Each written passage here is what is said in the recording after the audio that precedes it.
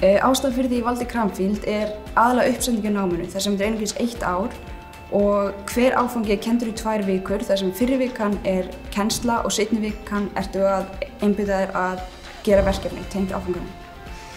Svo sá ég einnig að uh, allur aðbúnaður og aðstæða í Cranfield er mjög góð bæði til þess að læra og einnig á rannsóknarstofunum og að lokum þá sá ég að tengst Cranfield við atvinnulífi er mjög góð. Svo, svo ég átti þann möguleika á að vera í mjög góð samband við atvinnulífið og, og er einni, já, efla mig sem einstakling sem mun fara á skólanum í atvinnulífið.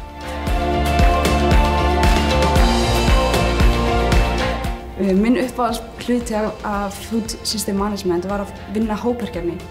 Þar sem að ég fekk möguleika að vinna með uh, fimm mismunandi aðlum í að hjálpa kaffihúsi að minka matarsóðun á sér. Þetta var svona alvöru verkefni þar sem við uh, vorum fimm saman frá mismunandi löndum með mismunandi uh, bakgrunn að hjálpa stað að leysa verkefni. Þetta er mjög góð reynsla út í atvinnulífið.